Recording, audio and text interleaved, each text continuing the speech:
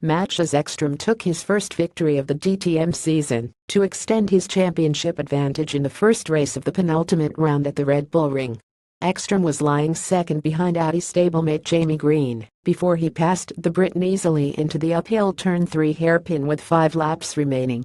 The leading Audi trio of Ekstrom, Green and Nico Muller finished in formation after a race dominated by the Ingolstadt marque the first race since the DTM scrapped the controversial performance ableist rules.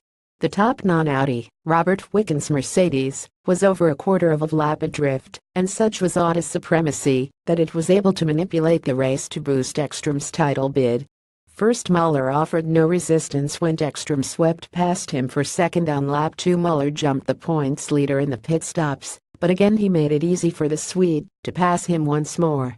Green's team Rosberg RS5 had held a buffer of 4.8 seconds over Ekstrom's Ed machine before Ekstrom pitted. Green stopped three laps later and was 4.6 seconds to the good at the end of his first lap on his new tires. Ekstrom slashed the gap to 1.2 seconds within four laps, but it hovered around the 1.5 seconds mark for most of the rest of the race before Green lost relative pace and allowed Ekstrom to slip past. Wickens' fourth place owed everything to a stunning first lap, in which he charged from 7th to 4th. He spent the first stint fending off Marco Wittmann's BMW and Rene Rast's Audi, and then, after Wickens and Wittmann pitted together, the Canadian was still in front. Rast stopped slightly later and leapfrogged them in the stops, but on cold tires he could not resist the pressure.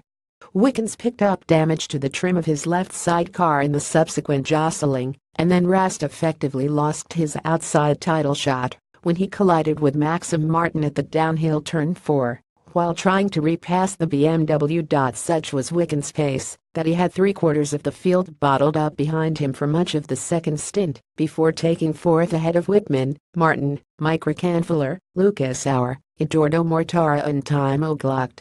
Mercedes driver Auer came into the weekend as Ekstrom's closest title challenger, but, on home ground, he has now dropped to 31 points adrift, while Green's pole and second place have vaulted him from 5th to 2nd in the standings.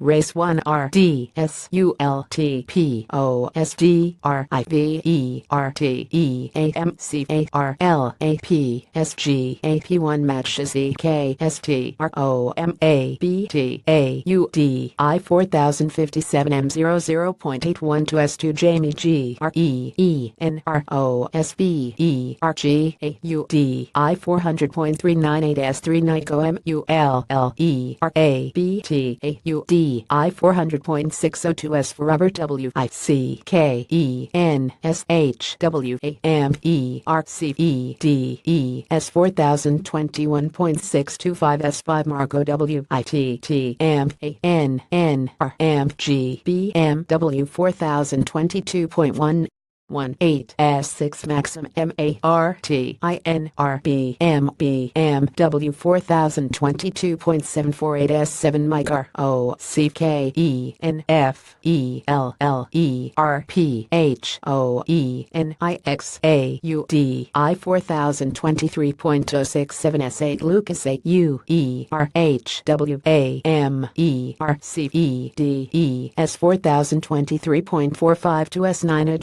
M O R T A R A H W A M E R C E D E S 4023.761 S 10 time O G L O C K R M R B M W 4025.559 S 11 Paul Dyer E S T A H W A M E R C HDES 4025.938 S12 Bruno SP DNG LD RRB MBM W 4026.447 S13 Rene RAST ROSB ERG I 4026.788 S14 Loic D U V A L P H O E N I X A U D I 4027. S15 Maro E N G E L H W A M E R C E D E S 4027.514 S16 Tom B L O M Q V I S T R M R B M W 4032.951 S17 Gary P A F F E T T H W A M E R C E D E S 401 M